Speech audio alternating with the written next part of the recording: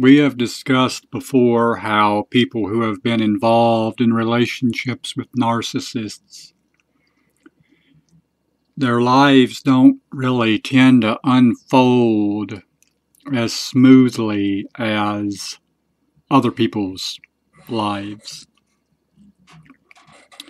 That in spite of their intelligence, education, and talent, it's sort of like they're not going in the right direction that they should, like they're still swimming against the current.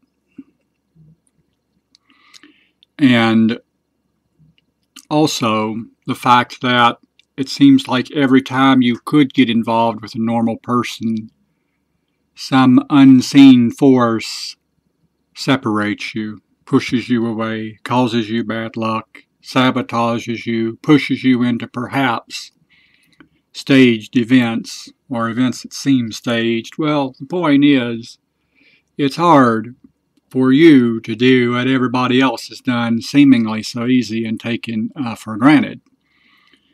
Obviously, you're not going to have very successful relationships and such uh, stability if you're attracting narcissists into your life.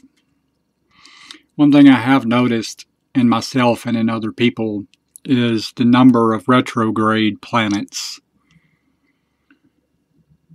Retrograde planets are planets that appeared to be moving backward when you were born.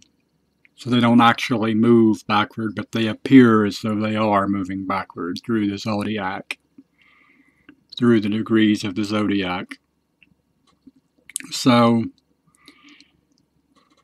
that could mean like opposite current or current in reverse. Like, I'm just thinking, and it's only a hypothesis, I myself have no less than six retrograde planets in my chart, which is considered super rare.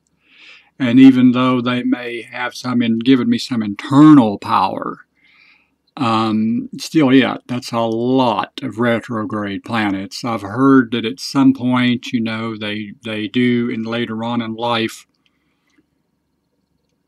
give more direct results, but I've never heard of a specific timetable for that. Anyway, I was wondering if anyone else may know the number of retrograde planets in their chart, and you can look up your chart online very easily retrograde planets may have an R next to them or they may be color coded a different color.